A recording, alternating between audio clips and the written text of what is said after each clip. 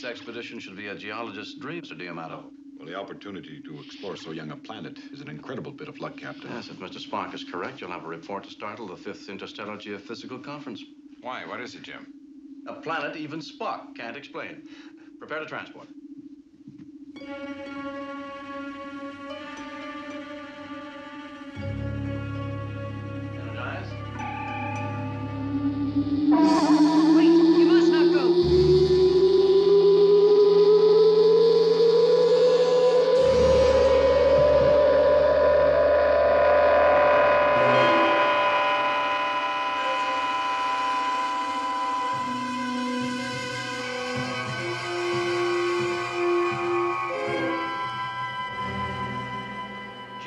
Jim, see what I saw? That woman attacked Ensign Wyatt. Captain. Kirkton.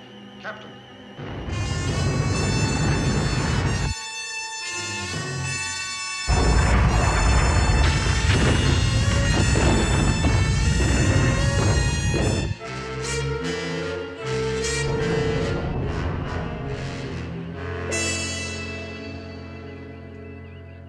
Mr. Spock, are you all right? Yes, I believe no permanent damage was done.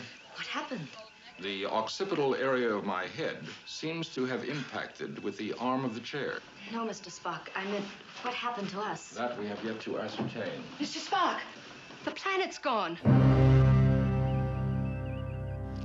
What kind of earthquakes do they have in this place? I don't know, any more like that, it'll tear this planet apart.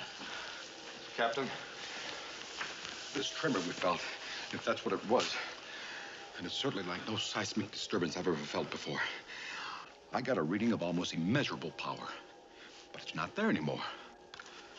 Could seismic stress have accounted for it? The reading I got had nothing to do with the seismic force. It's very strange. And that woman? Kirk to Enterprise. Kirk to Enterprise. Come in. Hmm. Shock may have damaged it. It's gone. The Enterprise, it's gone. That's right, Captain. There's nothing there. Could it just be gone? What the devil does that mean, Jim? For one thing, it means we're stranded.